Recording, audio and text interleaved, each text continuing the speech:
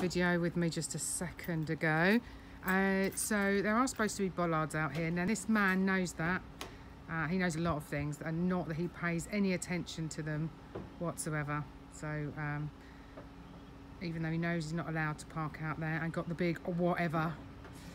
Um, so this is what happens. So they call the police and then they park outside my house. And this is what I have to deal with.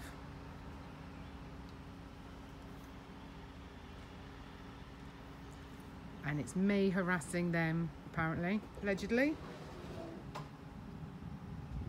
And if that's not harassment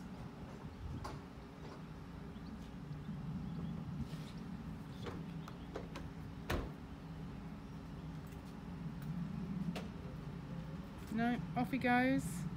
So he knows he's not allowed that there. So again that's another it's more harassment more harassment and then obviously I've got the boys over there. I've got those ones over there. Okay excellent. So if I do any gardening they just stare at me. Or if I'm in my front room they stare in. Again definitely harassment